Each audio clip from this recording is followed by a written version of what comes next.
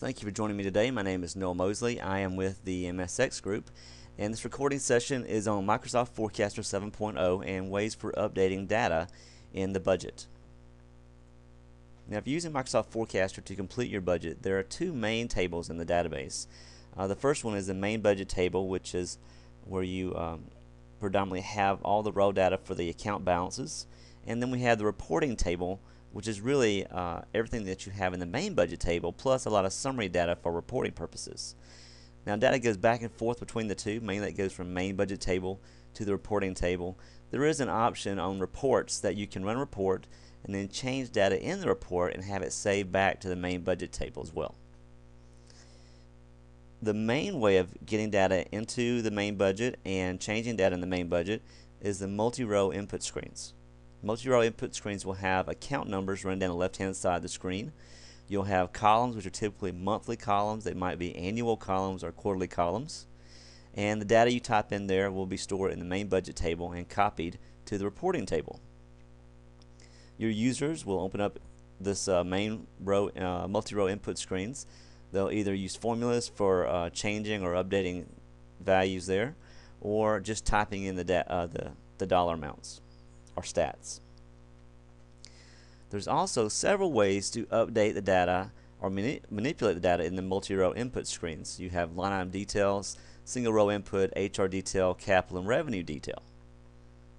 Line item detail will let you add details to any individual account on the multi-row input screens. So if you have a travel account on multi-row and you don't want to just type in um, $5,000 for travel, you want to break it down between several different trips. Uh, you can add line item details of that travel account. Uh, you might have uh, five rows there, $1,000 each. Uh, row one might be Vegas, row two might be Atlanta, DC, New York, and uh, wherever else. And then those will roll up to the account level balance. So that's line item detail. Very easy way to add uh, a breakdown to your account balances. Single row input will let you budget for individual accounts it will let you compare that uh, your budgeting numbers to a baseline, which might be last year's actuals, it might be last year's budget or forecast or anything else. And you'll compare that to the baseline for the budget uh, and keep track of a dollar variance and a percent variance. And you could also budget by percentages, percent changes, or uh, dollar changes. HR Detail will let you import your existing employees into Forecaster, and you can also budget for um, additional new hires as well. The HR detail will populate wages, taxes, and benefits, and all the accounts that you might have listed on the multi-row input screen. Capital detail will let you budget for new assets that you're adding during the budget season. This will book the cost to the cost account for those assets and book depreciation expense to the depreciation expense account. Revenue detail will let you break down your revenue budget into um, markets and products, and then you can budget for the revenue dollars as well as cost of goods sold or anything else related to that revenue budget. All five of these manipulate or change or alter the data in the multi-row input screens. There's also a lot of other options for getting data into Forecaster or manipulating data inside Forecaster.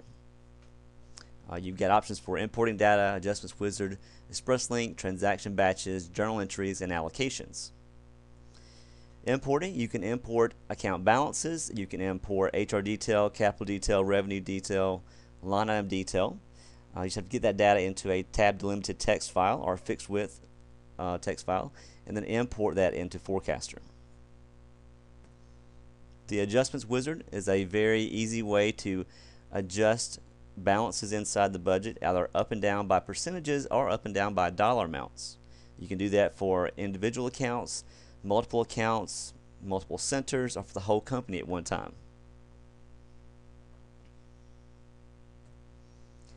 ExpressLink will let you hook up to your General Ledger directly through FRX, and this will let you import account IDs, descriptions, and your other segment IDs and descriptions, as well as the account balances. For ExpressLink, you have to be using Microsoft FRX as well. Transaction batches and journal entries um, will let you bring balances into Forecaster. Transaction batches uh, will let you overwrite existing balances inside of Forecaster. Journal entries, however, will adjust existing balances in Forecaster. And allocations will let you book uh, like a lump sum to a given center, and then you can run a task that will allocate that money out to other centers and accounts based on a fixed percentage or the value of some other account.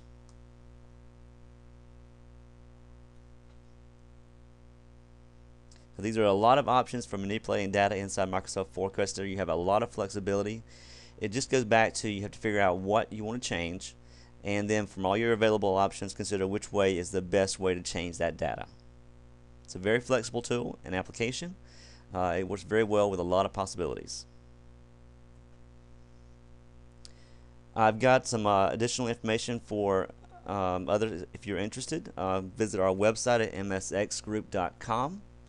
We have a group uh, or an account on twitter.com. It's msxgroup.